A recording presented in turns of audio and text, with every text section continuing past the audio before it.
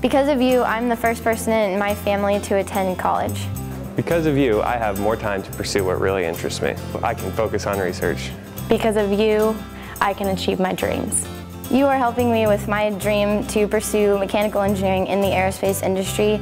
I just think the airplanes are really cool. Every time I hear one flying by, I tend to look up and see it go by. It's really dorky, but... because of you, I can go to Madagascar and set up solar panels on elementary schools. Because of you, I'm able to support faculty innovation and faculty work in the areas of research, teaching, and service.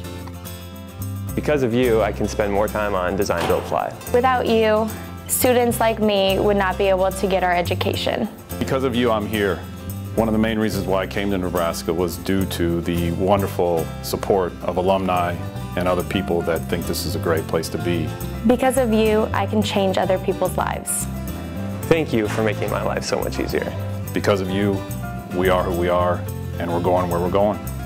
From the first time I met Nebraska alums to today, the thing that really impressed me about you is your sense of community and your commitment to caring about other people.